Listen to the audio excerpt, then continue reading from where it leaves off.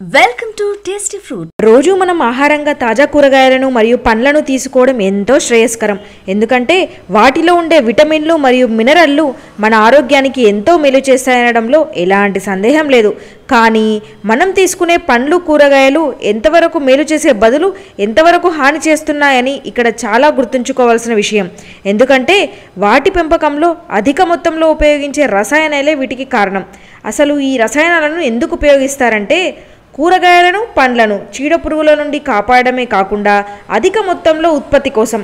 మరి అలాంటి రసాయనాలను నీటితో శుభ్రం చేసినంత మాత్రాన అవి పోకపోవడమే కాక మనం తీసుకున్న కూరగాయలు పండ్ల ద్వారా నేరుగా మన శరీరంలోకి ప్రవేశిస్తాయి. అలా శరీరంలోకి వెళ్ళిన రసాయనాలను మన ఆరోగ్యంపై తీవ్ర ప్రభావాన్ని చూపుతున్నాయి. ఎలా అంటే రసాయనాలు ఉన్న ఆహారం తీసుకోవడం వల్ల క్యాన్సర్ కిడ్నీ మరియు కాలేయ సంబంధిత వ్యాధులు సంక్రమించే ప్రమాదం ఎక్కువగా ఉంది.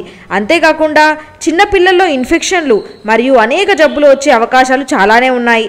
అదీ కాక చిన్నపిల్లలు కూడా క్యాన్సర్ మరియు మానసిక రోగాల బారిన పడే ప్రమాదం ఉంది. ఇక గర్భంతో ఉన్న ఆడవారిపై వీటి ప్రభావం గురించి ప్రత్యేకంగా చెప్పనక్కర్లేదు.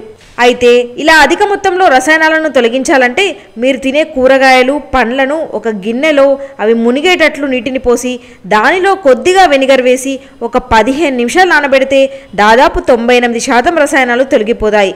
ఇది కాక మీ బంగ్లాపై మీరే సొంతంగా ఏ రసాయనాలను వాడకుండా పూర్తిగా ఆర్గానిక్ పద్ధతిలో కూరగాయలు పెంచుకోవడం ఎంతో శ్రేయస్కరం.